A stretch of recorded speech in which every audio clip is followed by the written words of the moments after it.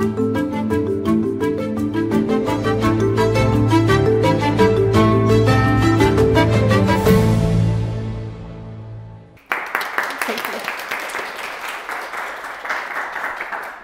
evening, everyone. Uh, thank you all for coming to this talk. And thank you, Tricia, for the introduction. Um, and I want to also thank uh, the American Center for Mongolian Studies for uh, hosting me, helping me, everything that they've done to make all of my progress here possible. Um, just to reiterate, my name is Thalea Stokes. I am a PhD student at the University of Chicago in ethnomusicology. I am more or less from Atlanta, Georgia, um, and I am a uh, professional musician. Uh, I play double bass. I've been playing double bass uh, in orchestra for about 17 years. So what is my project? Uh, I am studying or researching the hip hop culture scene among Mongols in Mongolia and in China. And uh, how this came about is that in my bachelor's uh, studies, I started studying Chinese, um, and I studied for two years, and then I went to Beijing for six months to do intensive language study uh, in 2009. At that time, I came to, oh, it's fine. This is intentional. At, at that time, I came to learn about uh, so-called ethnic minorities in China. That would be like Mongolians, Uyghurs, Tibetans, etc. And I became extremely interested and fascinated by their culture and their music and this topic. And so I decided to do my, uh, my bachelor's honors thesis on studying the traditional music of ethnic minorities in China.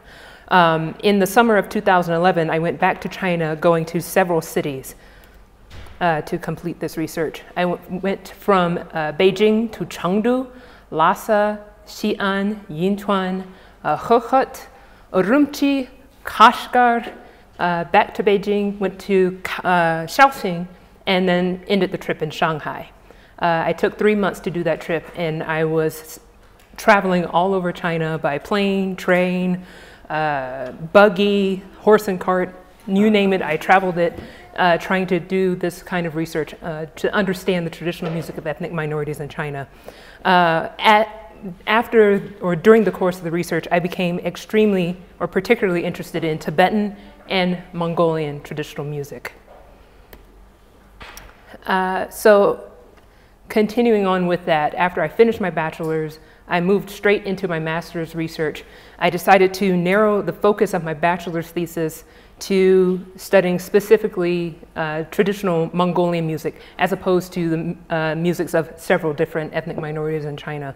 So I went back to China again in 2012 uh, to Hohhot in Inner Mongolia. At, by this point, this would have been my fifth time in China. Um, and I studied traditional Mongolian music. During my research, many things stood out to me.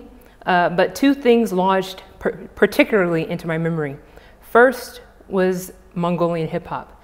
At the time, I was completely unaware how popular hip hop was outside of not only uh, just the United States, but particularly in East Asia, as far flung from the major city centers in China as Hohhot or Western China. This was something that was completely unknown to me at the time. So when I was doing my research, I interviewed a young guy who uh, was ethnic, ethnically Mongolian and he had uh, his own hip hop music crew and he did beatboxing.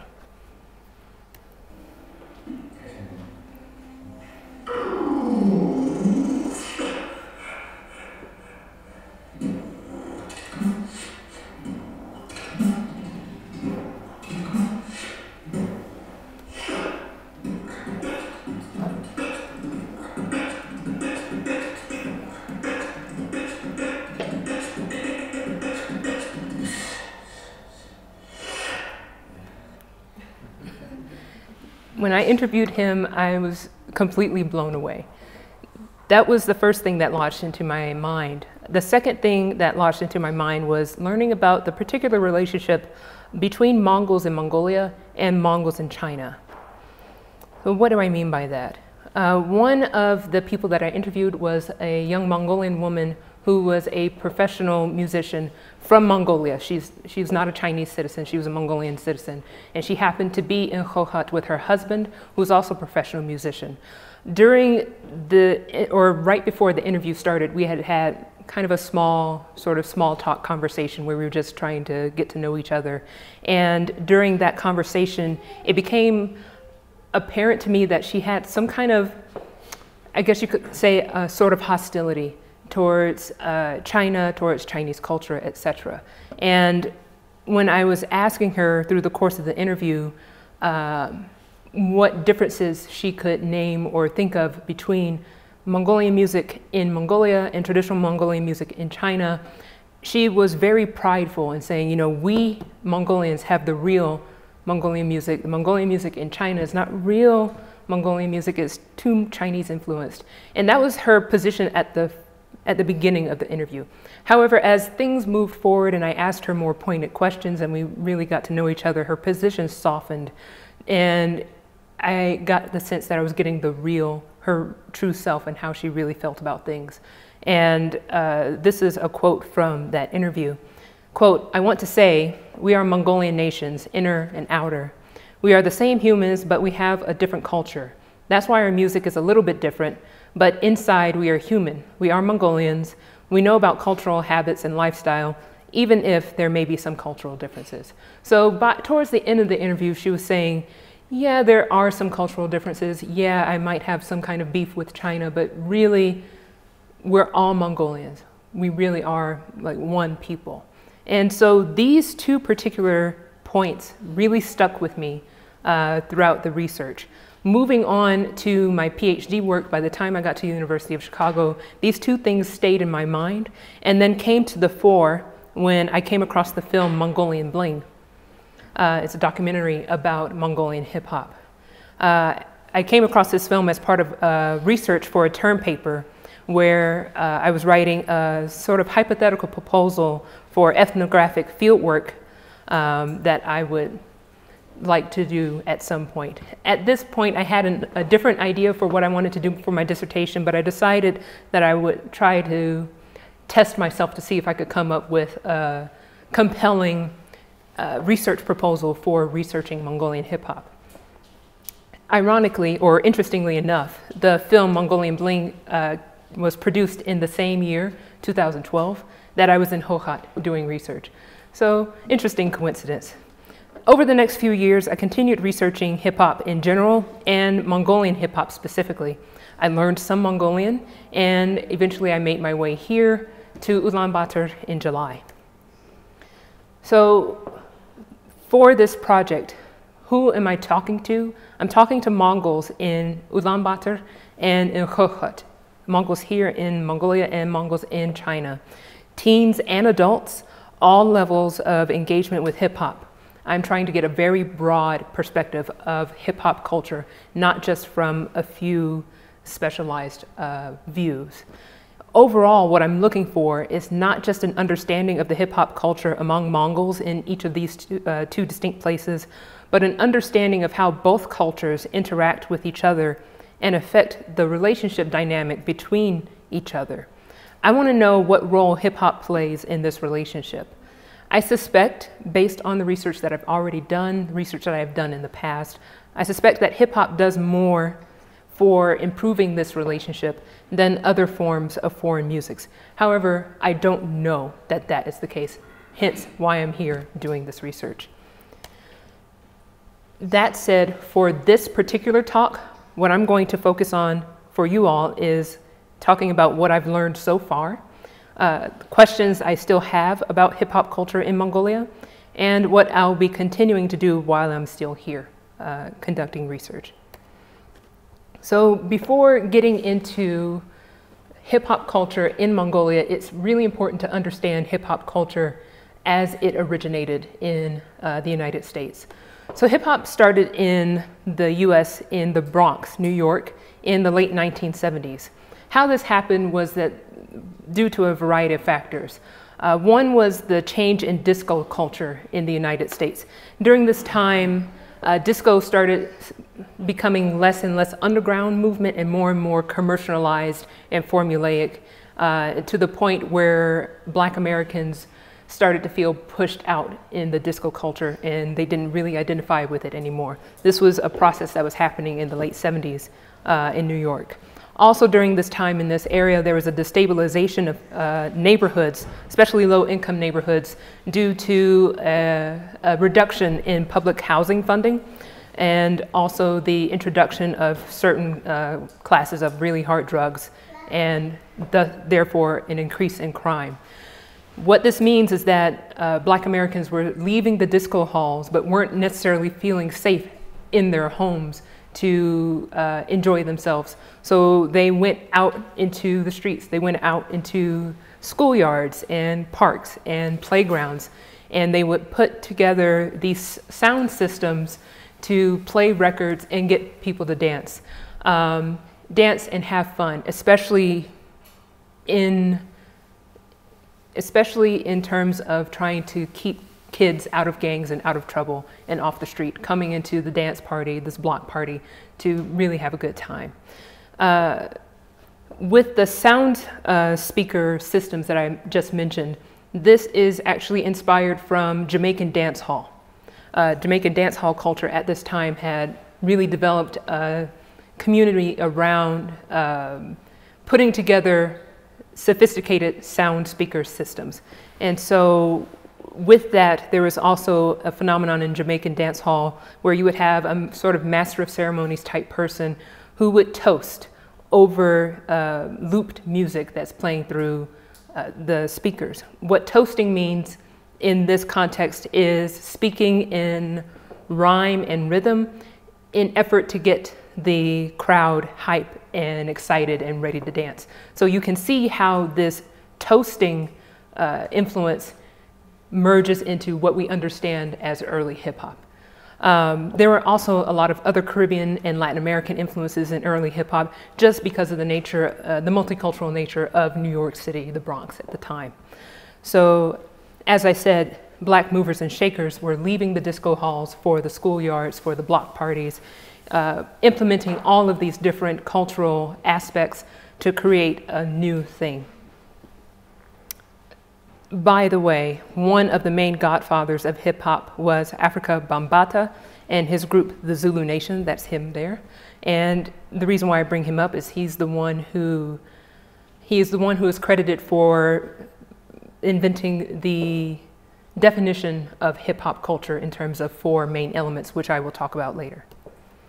So I want to demonstrate very quickly the musical elements of early hip hop that I just mentioned uh, by looking at one of the earliest and most well-known songs in hip hop, Rapper's Delight by the Sugarhill Gang. Uh, the music from Rapper's Delight was sampled from Good Times by the disco group Chic. So first, I want you all to listen to uh, Chic.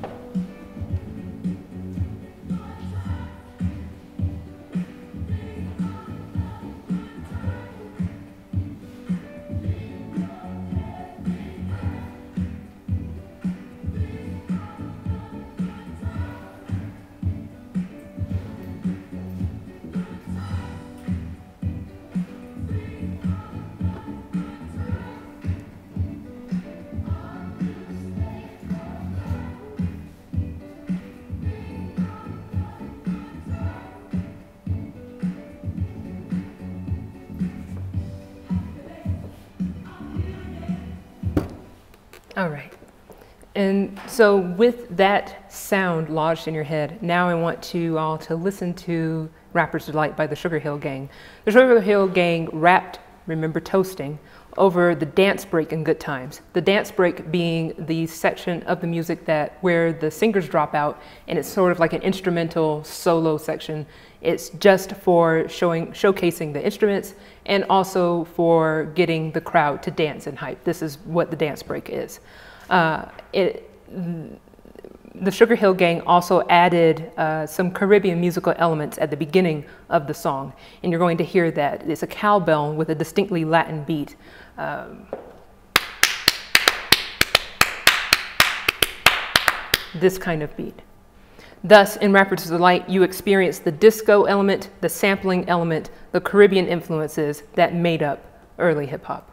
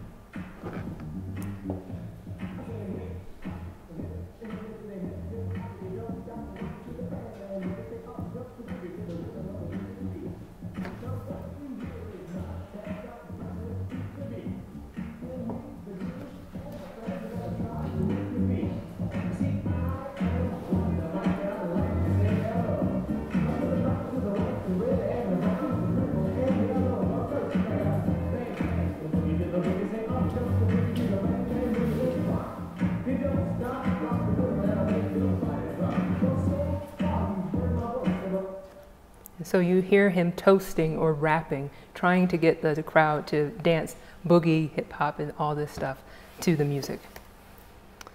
So during the er, hip hop's early years, it developed from just music to an entire lifestyle with four main elements. Uh, that would be B-boy, B-girl, i.e. breakdancing, uh, MC, which means master of ceremonies, um, DJ, which is disc jockey, and graffiti, which is spray paint uh, visual art. So for B-boy and B-girl, like I said, this is a breakdance, the breakdancing element of hip hop culture. Um, for the master of ceremonies, their job is, as you just saw, to kind of toast, to rap over the music, to get the crowd to dance and have fun. The DJ, their job is to mix uh, uh, compatible samples of music that will help continue or make sure that the party continues on for an ex extended period of time with a nice, good flow. Uh, in the early years of hip hop, DJs or really pr um, prominent DJs are, were well known for going to record shops and digging through crates and crates and crates of records to find the perfect music to put together to sample to make a good like party element.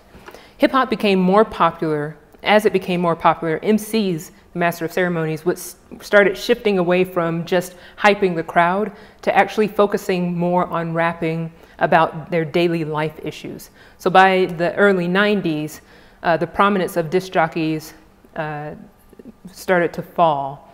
Uh, the prominence of MCs started to change from hyping to the grit of black inner city life.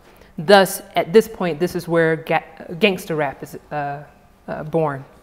Also by this time, uh, an element of East Coast, West Coast uh, dichotomy slash feud was created. Um, East Coast being New York and West Coast being California. The most famous representatives of each coast are Biggie Smalls, or the notorious uh, B.I.G., who comes from New York, and Tupac Shakur, who uh, represents California, both of whom died in the late 90s.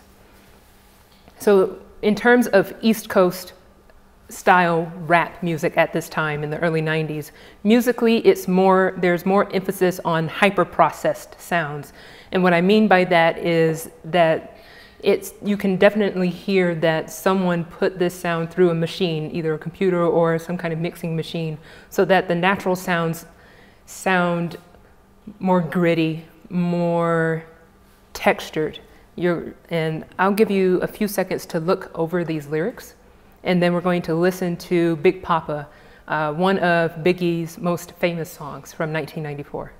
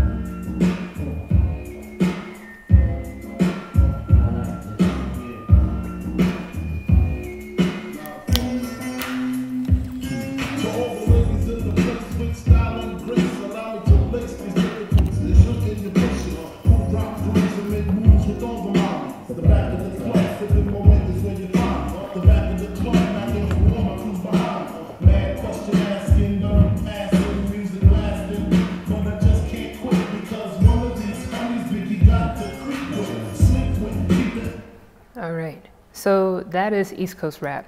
Now we're going to move to an example of West Coast rap. Musically, West Coast rap has more emphasis on bass, uh, the bass sound of the music, and you're going to hear that. The reason for this is that West Coast rap was starting to develop uh, in relation to and with specific uh, context in mind, that is the car culture that was developing in California um, the sound systems made for cars. Uh, West Coast rappers were starting to mix their music that would such in such a way that it would play much better in cars. So again, I'll give you a few seconds to look through, just skim through some of these lyrics, and then I'll play the music.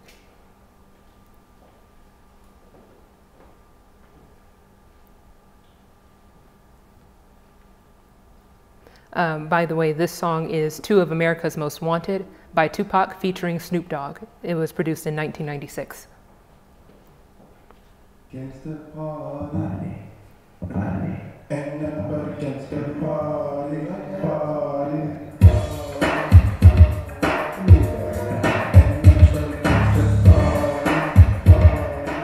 Hear the bass.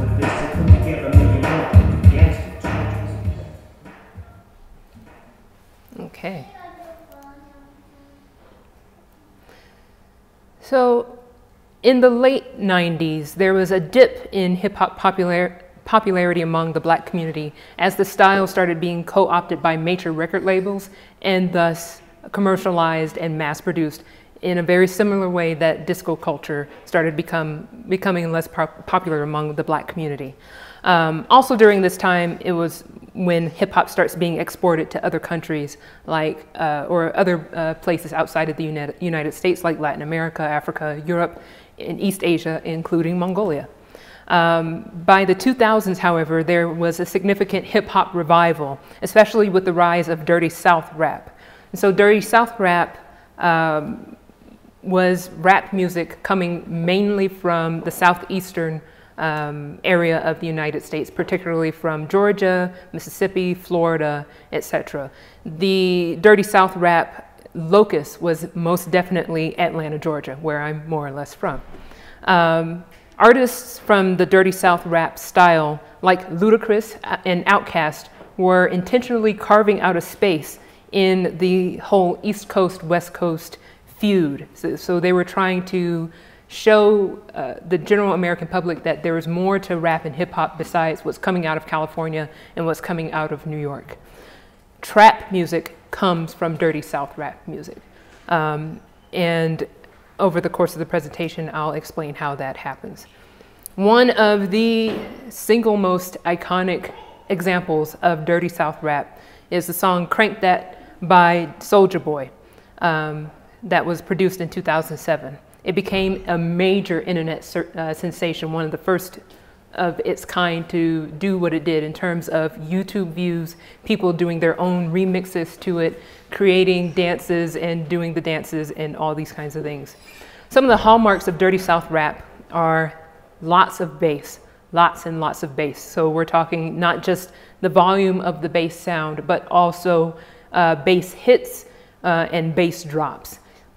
And I'm going to, as I play the song, I'm going to demonstrate to you what I mean by the bass hits and the bass drops. Uh, another one of the hallmarks of Dirty South rap would be very simplistic uh, mel melodic loop. So by this time, we're not so much sampling entire records from the disco and the funk era. There's just like a little piece of like perhaps one bit of the melody that continues to loop over and over while the rapper just raps over the music. Also, you'll have Southern Black American accents, the accent which sounds quite a bit different than Black Americans who are from California or from New York. Many of these same characteristics that I just uh, mentioned for Dirty South rap are utilized and uh, transformed to the extreme to, into what soon becomes trap music. So if you've ever listened to trap music, you'll recognize how close it is to the style of Crank That, which, was, which is what we're about to watch right now.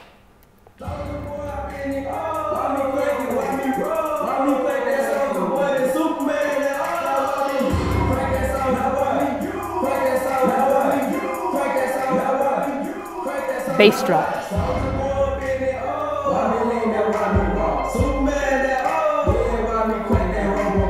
Bass drop.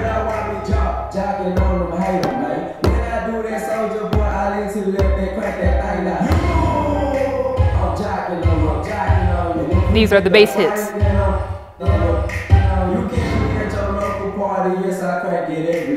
Haters getting mad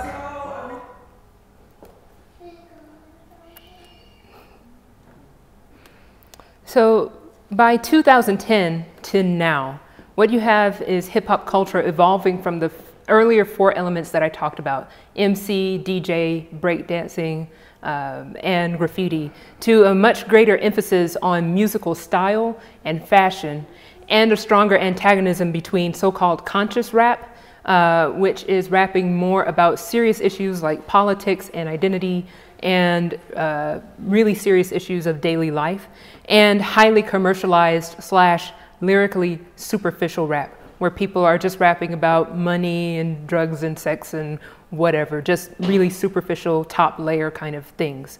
Uh, currently, mumble rap uh, is the highest uh, form of pop cultural relevance at this moment. In terms of conscious rap, uh, however, right now most rappers are celebrating and up uplifting unapologetic black identity. So here's an example of some conscious rap uh, that was produced in this year. It's called Black by the rapper Buddy featuring ASAP Ferg. Um, the things or the items with special meaning, these words and phrases that are highlighted in yellow have particularly special meanings and it allows the listener to understand how much of a conscious rap this rap is. I can go into a, further ex, uh, explanation of these items in yellow in the question and answer period. Uh, for now, I'll give you a few seconds to just glance over these lyrics and then I'll play the song.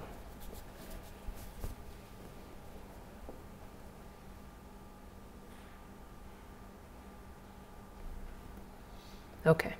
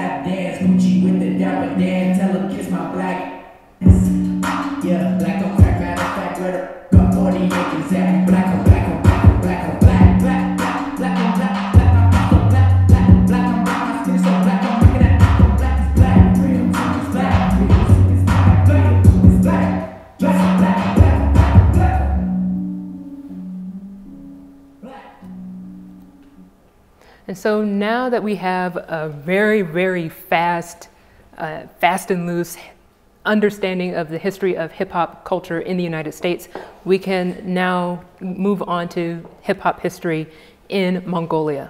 So the history that I just gave, even though it was a brief overview introduction, it's very well documented in terms of mass media and academic sources, from articles to dissertations to books to whatever media that you can think of, someone has done it about hip hop culture in the United States.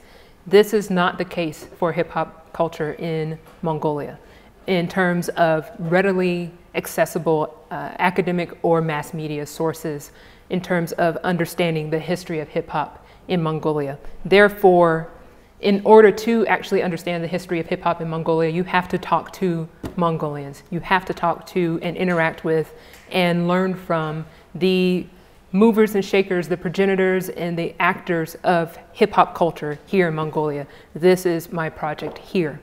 Um,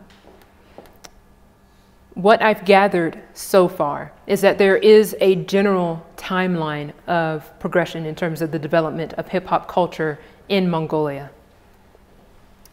So hip hop culture in Mongolia can be thought of as thought of in a sense of three distinct generations. The first generation being from about 1990 to 1995. Right after the uh, Democratic Revolution, more cultural products were being imported into Mongolia. Although other foreign genres like rock and pop had already been trickling into Mongolia at this time, they began to flood in through CDs and MTV in the early 90s. And old school hip hop from America was part of that flood. So there were two music groups in the first that defined the first generation. Um, that would be Khar Tas uh, and uh, Kharsarnai. Khar Tas mean black condor and Kharsarnai meaning black rose. Uh, the people that I've talked to generally would describe Khar Tas as the real first hip hop group, while Kharsarnai is more like techno rap and I've listened to some of their music and it really is more like electronic music with some rapping in it. So I understand that sentiment. It's important also to note that hip hop dance crews came to greater prominence than MCs and DJs in Mongolia uh, at this time. So the musical style of Khar Tas, as well as the fashion style and the featuring of graffiti hip hop culture, was inspired by old school American hip hop, that is, hip hop of the 80s in the US, particularly Public Enemy. So what I'm going to do is play Khar Tas's uh, which means like cloudy sky, generally speaking. And I want you guys to watch the video and note the similarities between what's going on in this video and what's going on in Public Enemy's uh, Fight the Power, which was produced in 1989.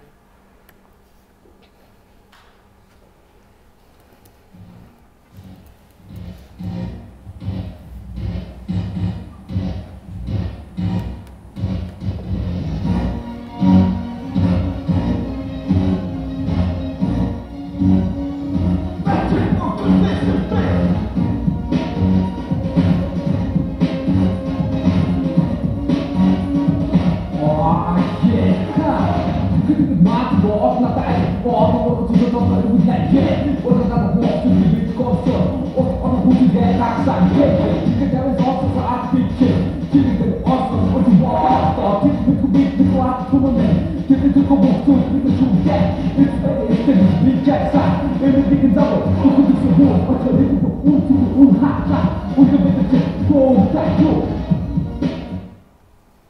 And now, uh, Public Enemy's fight the power.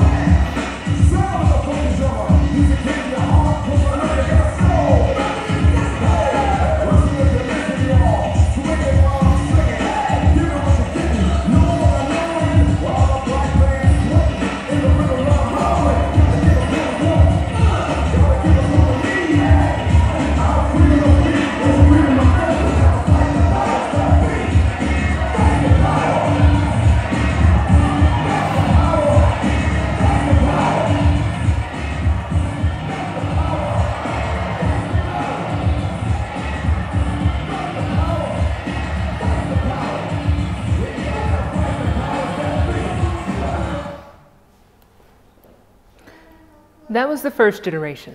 The second generation of Mongolian hip hop can be defined at about 1995 to the year 2000. These are general time markers, by the way. They're not hard and fast rules, but this is generally how you can understand Mongolian hip hop in the second generation. They were defined by five hip hop dance grooves that came out in about 1995. That would be Dan Ba Inch, which is War and Peace, Lumino, Montarep, Ich uh, which means freedom, and Hoirho, which means uh, two brothers. Originally, these groups all operated together as part of a hip hop dance scene. Remember when I said that dance crews, breakdancing was far more prominent in Mongolian early hip hop culture than just emceeing and DJing. But over about a year or so, many of the members uh, switched from mainly dancing to actually rapping and singing. And the scene split up into the individual hip hop groups that we understand them to be uh, today. Ice Top and Digital, uh, who came out in about the late 90s, can be understood as part of a sort of second phase of the second generation. In terms of musical style, the second generation, they tended to, uh, to take inspiration from the 90s era hip hop of uh, American hip hop culture, less old school and more underground, although gangster rap style didn't start becoming really popular in Mongolian hip hop culture until closer to the year 2000. During uh, the course of my research, I came across Lumino's uh, Gerelt Horvod, uh, which kind of means like bright world or bright life. Um, although the song came out after the 95 to, to, to, to 2000 period, still it was very similar to the style, the musical style of the hip hop group Bone Thugs-n-Harmony of the late 90s. Uh, I'm going to play both of these songs, and I want you all to listen to these similarities. It will be very readily apparent uh, once I play. So here is Gerelt Horvod first.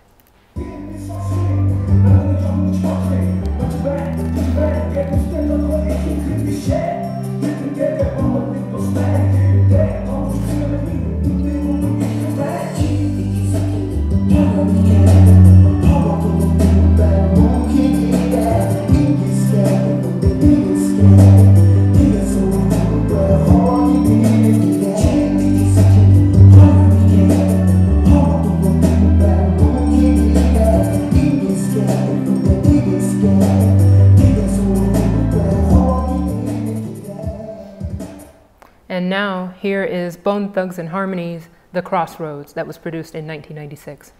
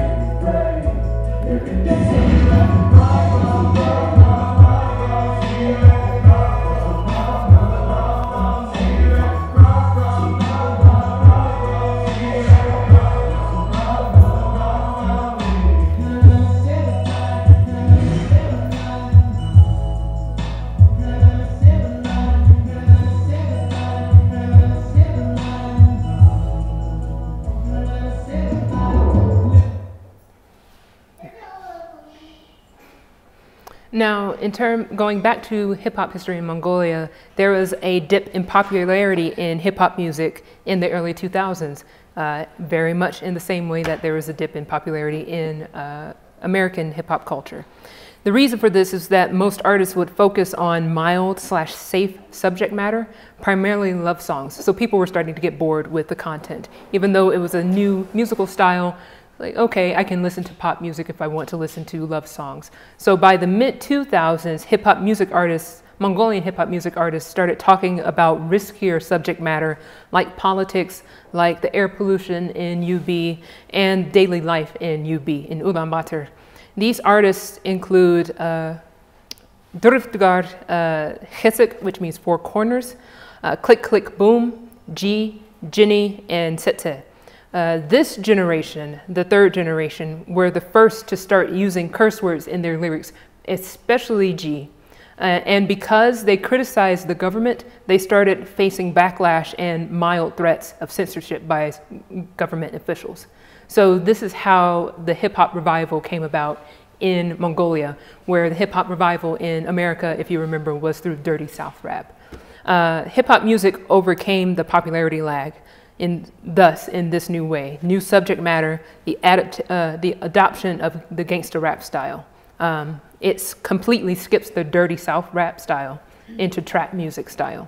Currently, uh, Mongolian hip hop is at the trap music phase um, with artists such as Ginjin and Bisma. So this clip that I'm going to show you is Ginjin. Uh, this was at the M-Chart Laser Show on September 9th of this year.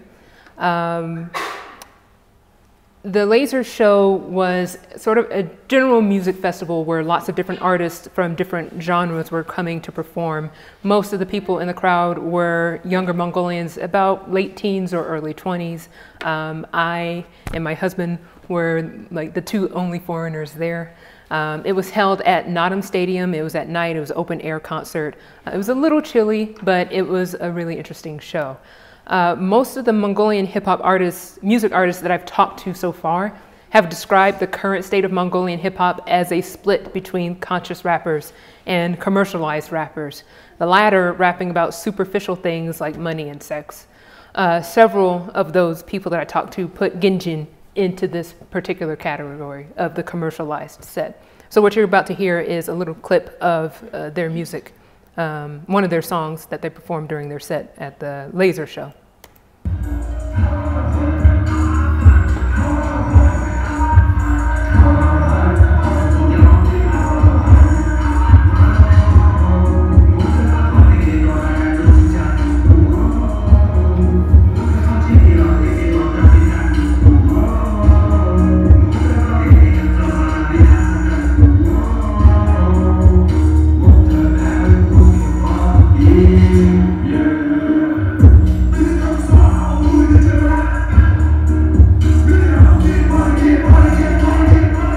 Get money, get money, get money.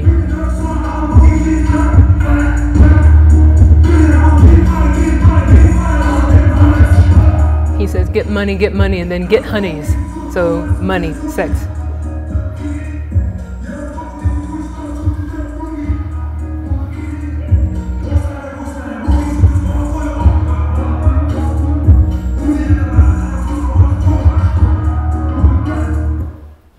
Interesting to note that right after this, uh, this moment where I cut off the clip, the speakers blew out at the concert because the music was so loud and they had the bass turned all the way up that the left stage speakers completely blew out. And so they spent half of their set uh, with an unbalanced music system. That's how loud it was. This is, again, this element of trap music that comes straight from Dirty South rap when I talked about how there's lots and lots of bass. Um, they take it to the extreme. Why did I go through these histories, especially in comparing Mongolian hip hop history to American hip hop history?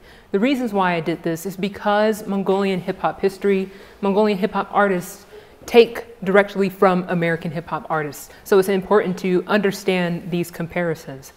Uh, the hip hop histories together have some similarities, but there are key differences because hip hop isn't indigenous to Mongolia. So in the first, uh, this first row that you see here, uh, the American hip hop history goes from disco to underground to gangsta rap to commercialized rap, dirty south trap to today conscious versus commercial rap. On the Mongolian side, you have underground, commercial rap, gangsta, trap, and then uh, conscious versus commercial rap, what we have now. Um, despite taking cues from American hip hop, Mongolian hip hop developed the four hip hop uh, cultural elements differently. In American hip hop, there was a general equal importance of MCs, DJs, B-boys, and graffiti, but that shifted to um, more focus on rappers specifically in fashion. Whereas in Mongolia, as I mentioned, the dancing was more important. So you had more emphasis on b-boys and generally MCs and fashion. But then the culture changed or shifted to a focus more on the rappers, DJs in particular, and continuing a focus on b-boys. Currently, commercial rap subject matter is about the same between American and Mongolian styles um, as I talked about the superficial lyrics that they're talking about. For conscious rap, however, the differences are obvious, but key to how hip hop has become indigenized in Mongolia. So for conscious rap in America, uh, the subject matter is about black identity, black American identity as an oppressed minority, and the issues and thoughts and feelings that come from living as a black American in the United States. Conscious rap in uh, Mongolian hip hop culture, however, is, focuses on pride of Mongolian identity, pride of Genghis Khan, pride of the natural scenery, the grasslands, the eagles, and pride of families, mothers and children, and this kind of thing and also criticizing inept leaders, particularly in Ulaanbaatar, where hip hop culture is more is most concentrated in Mongolia. Um, this is these are the differences between the conscious rap styles. As you can see, these ideas or subject matter that are coming into conscious rap between American rap and Mongolian rap is precisely because of the viewpoints in life that these two different groups of people are coming from. And so while rap and hip hop culture is indigenous to the United States, how Mongolian people have taken those elements but have turned it and modified it and constructed it to fit their own culture and their own ideas and their own perspective on life makes hip hop culture indigenized in Mongolia. So now it's a legitimate own form of uh, music and culture. So now I want to talk about contemporary Mongolian hip hop culture now that I've gone through the history. First, in relation to the four elements of hip hop, and then about the culture in general. Um, right now, uh, hip hop culture is extremely popular when it comes to b boy, uh, girl, or breakdancing. Uh, as I said, this popularity has continued on through the history of Mongolian hip hop. It consists of freestyle competitions, dance schools, dance lessons, and commercial advertisement slash production. Uh, sometimes hip hop dance crews, or oftentimes hip hop dance crews, are requested to perform at various events, such as the M Chart Laser Show, where Ginjin was at, remember that it was a show for lots of different artists from many different genres. It was not just a hip hop show, but Ginjin was there, and there was also a dance, a hip hop dance crew there performing in between sets of music. This particular clip is from the Groove Improve Battle event, which took place on August 26th of this year. Uh, it was sponsored by the Moxie Brothers Dance Studio, uh, which the, form, the founders of this studio were originally students of the 116 dance studio here in Ulaanbaatar. As an interesting side note, I'm currently taking their hip hop foundations class. Um, and I will be start taking their, uh, their dance hall slash twerk class starting on October 20th. Yes, it, it exists. So if you're interested, uh, let, let me know. I can give you the information. So here is some video that I took from that event. There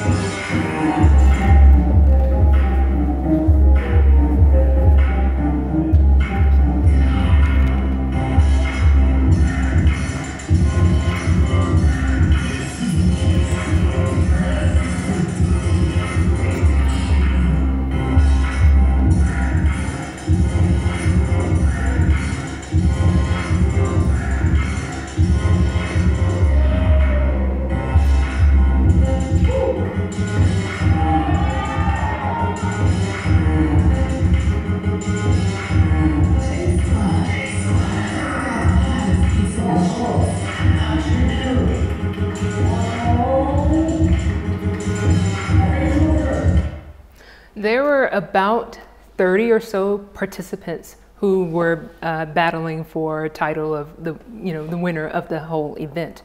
And they were set up in one-on-one -on -one kind of matches. They were mostly young Mongolian men, but there were a few uh, Mongolian women there who were really holding their own in these dance competitions. Uh, another interesting side note, especially in relation to what I'm about to talk about next, is that the DJ for this event was Bodakho, who's a very famous uh, Mo uh, Mongolian hip hop DJ here in Ulaanbaatar. So when I say that the dancing and the DJ aspect of Mongolian hip hop is more important, this is exactly what I'm talking about. Um, in terms of emceeing, using your words, your lyrics, and DJing the music. Uh, we've covered much of this in the details in, in, about when I went over the Mongolian history um, in terms of subject matter and musical style. What I want to emphasize instead here is the dynamic between cultural borrowing and cultural restructuring. That Mongolian hip hop artists borrowed and copied from American artists in the past is obvious, as we've covered. But this process of borrowing and copying is still continuing today. Mongolian hip hop artists and movers and shakers in the community are still looking at American progression and taking bits and pieces from uh, those influences. There are distinctly Mongolian elements in Mongolian rap. For example, rappers rap mostly in Mongolian. Uh, sometimes they'll have a little sprinkle of English words, but it's mostly Mongolian. Many rappers talk explicitly about Mongolian identity, like Chinggis Khan, the beautiful nature, the importance of family, etc.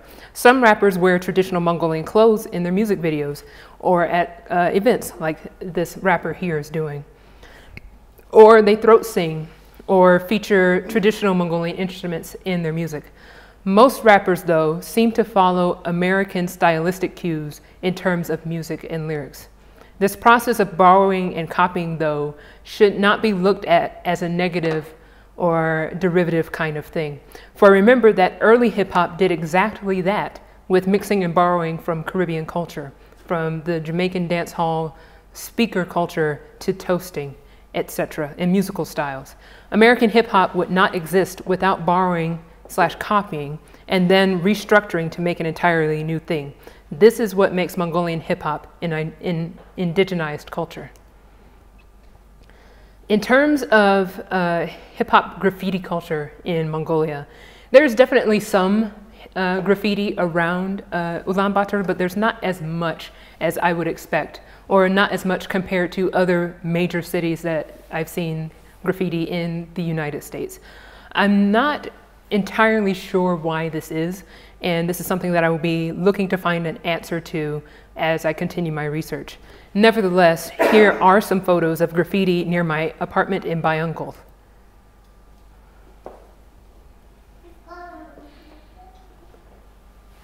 That's my favorite one.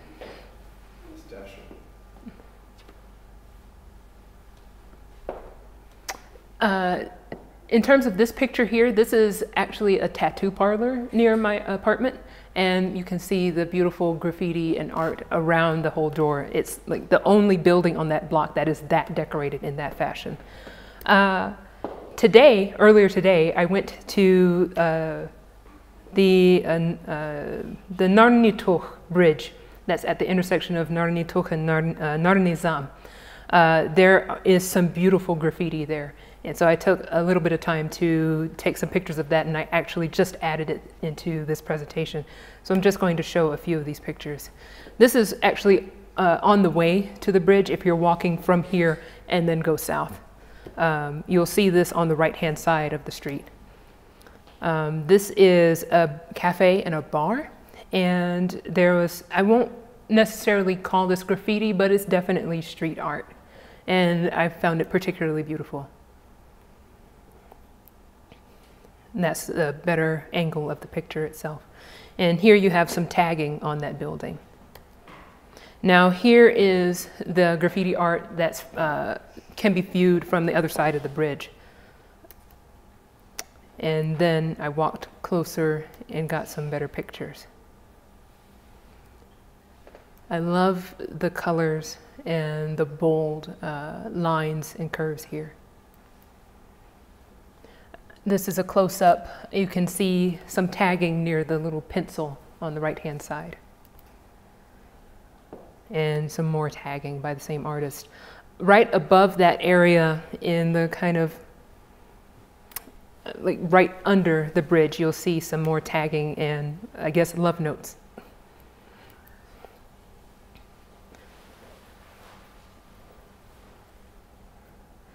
Now, the graffiti is spread not just on the underside of the bridge, but to the side of the bridge. It does continue uh, well into these weeds slash grassy area. Just a little bit more tagging. Looking across the street uh, south, you there are there's even more tagging and uh, graffiti on the other side of the street, on the pillars under the bridge.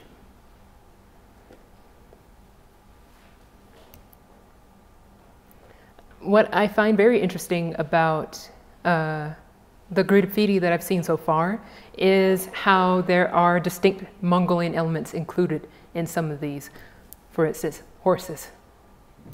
And also, if you look towards the left of the second line, it says bun bun. The second bun on the left near the B, it says winter is coming.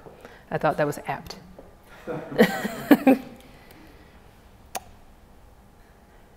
Lots of spray painting and then tagging. In this picture, I want to see.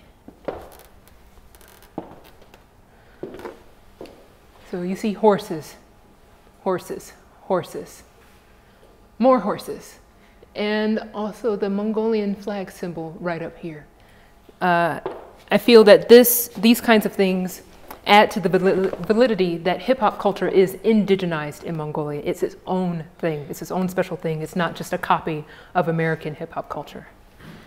Uh, there's some more tagging here, and here is a better view of this particular tag that I thought was very beautiful. In terms of popularity and presence. Those were the four elements of hip hop as far as it existed in Mongolia. Now I want to talk about how about the culture in general currently. Hip hop culture in Mongolia had to carve a space for itself in broad popular culture. At first, the style and dances were seen as vulgar and abrasive, but artists fought for acceptance and now you can hear rap music played regularly on the radio and in restaurants. You'll see hip hop dancing at various events and on TV commercials. And you'll see hip hop street fashion popularized in ads and stores. The same exact thing in terms of carving out a space, being underground and subversive, and now is a popular thing. The exact same thing happened in the United States. In addition to mainstream popularity, there is a vibrant underground scene where current artists and so called old heads collaborate regularly to maintain a strong core of Mongolian hip hop culture and to teach its true history and deep meanings. Mongolian hip hop is prominent both in Mongolia and internationally, uh, including China, Korea, Japan, Europe, and even the United States. Several Mongol rap artists have collaborated with popular American rap artists, and several popular American rap artists have been invited to uh, invited by Mongol rap artists to perform in Mongolia. In this digital age, Mongolian hip hop culture has a massive social media presence, massive, uh, from Instagram to YouTube to Facebook.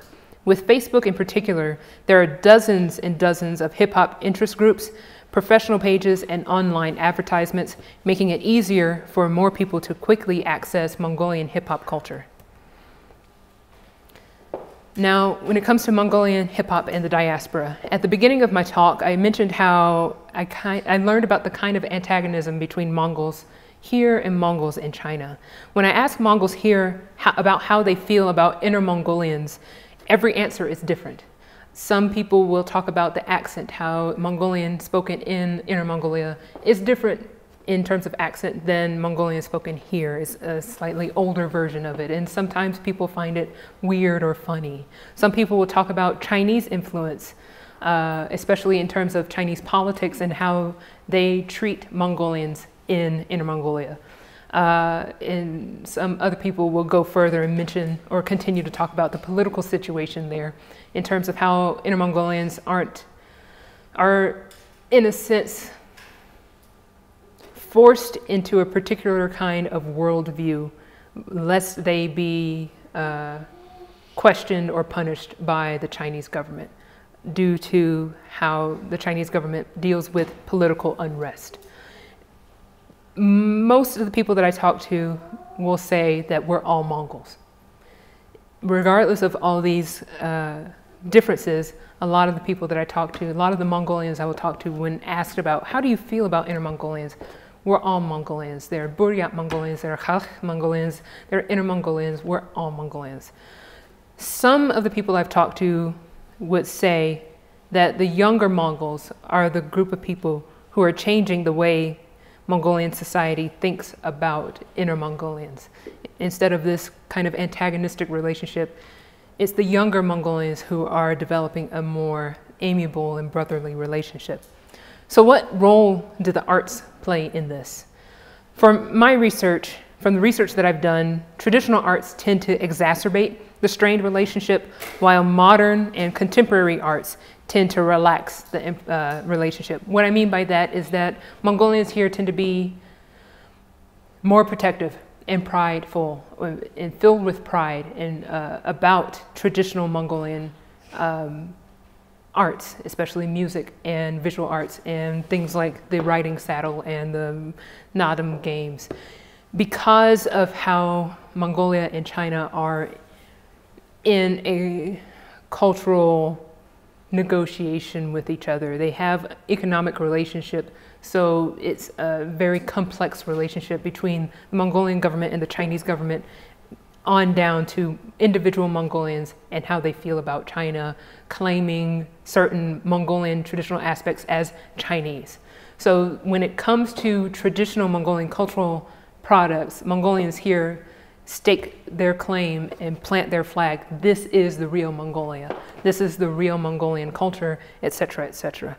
But for contemporary arts, especially in music, rock and pop and hip hop, those kind of distinctions start to get to relaxed and people are more likely to collaborate with each other. Mongolians here collaborating and going to Inner Mongolia and saying, you know, however we're dealing with these politics, we're all brothers and sisters, we're all Mongolians. This, we should love each other and support one another.